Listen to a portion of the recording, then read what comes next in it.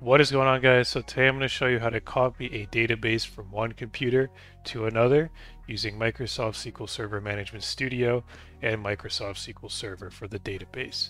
So that's I'll leave the link for both of those in the description if you want to download them. There's developer versions for both that are free and that's what I'm using here. So everything I'm using is free. I got my database and I want to copy it from one computer to another. So what do I do? What I'm going to do is create a backup of this database on this computer, which is going to create it a backup file. So it'll be like a .bak file. You can copy this file and then move it over to your other computer and then do a database restore. This works especially well if the database doesn't have a lot of data in it because it's going to copy it with all the data in it as well. And yeah, that'll be the fastest way to do it. It's very simple. I've done it myself, even on work computers, transferring databases from work computer to another work computer. Yeah, I like doing it this way. It's simple. So let me walk you through it. Um, so I have my database here. I got some tables. I want to copy this over to another computer. So you just right click and then hover over tasks and then do backup. So you're going to see it has a path by default. You can leave it like this, backup or database, my database, that's what it's called. Make sure you have the name selected.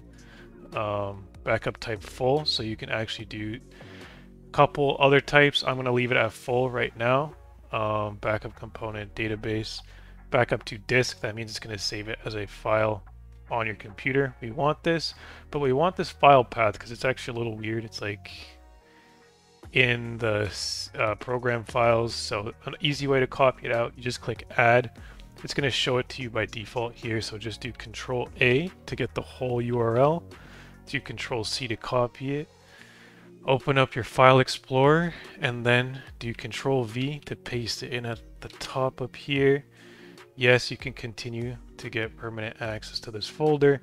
You'll see it's empty right now, but that's cool. Just leave it open because we haven't actually backed it up. So cancel. Okay, let's back up this database. The backup of my database has been completed successfully. That's great.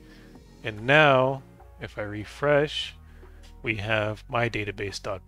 Okay, so let's say I have another computer. I'm still on the same computer right now, but I can't like record two different computers. Well, I could, but it's too much effort, right? So I'm to copy this and pretend like I'm moving it to my other computer. Okay, paste.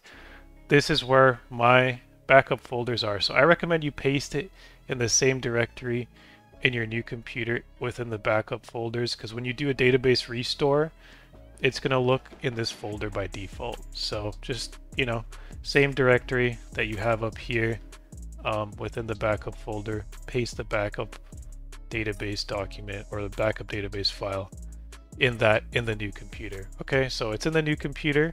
You have the file.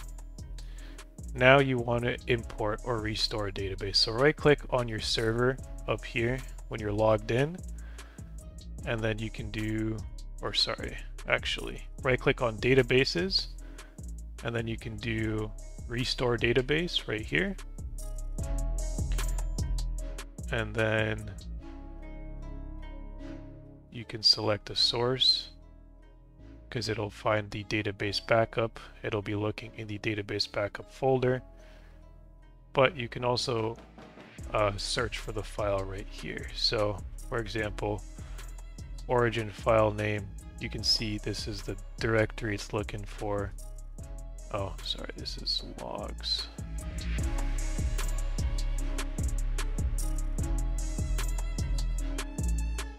Oh, this is where it's storing the data. That's right. Okay. That's the file for storing the data, I think. .mdf.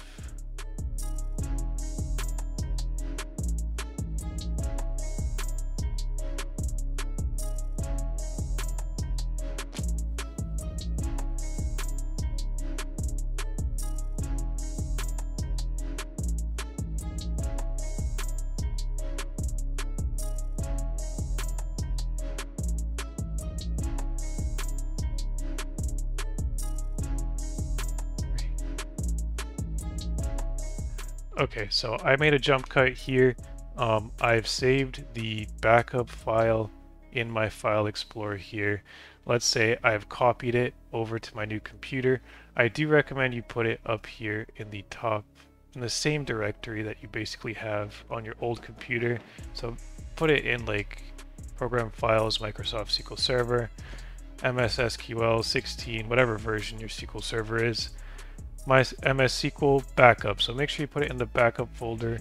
You can copy that out and paste it when you do like the uh, backup again if you ever want to get the directory for this, but I also will paste mine in the description of the video if you want to copy it and then paste it up here in your file explorer. Maybe you have the same version. So anyways, you have the backup folder, it's on your new computer, you've put it in the same directory, right? I'm going to delete this database now and pretend like I'm on my new computer and we are going to restore it. So I'm logged into my SQL Server. I want to restore a database. So I'm going to right click, do restore database. You'll see there's nothing here. That's why you want to click on device because it's going to look on your device for a file. So click on the three dots, click on add. And this is where putting it in the same directory helps because by default, it's going to open Microsoft SQL Server and then it's going to open backup. So that's why I have my backup folder or my backup file right there in this folder. So I can just click OK. It's going to look at that backup file now. Click OK again. We'll see that it'll restore the database. Um, it is a full restore like I was seeing before. And here's the total size. But anyways, let's just keep going with this. Click OK. And just like that, I would have transferred the database from one computer to my other one, all with that .bak file. So hopefully you guys found this video helpful. If you did, drop a like. Don't forget to subscribe. Thanks for watching.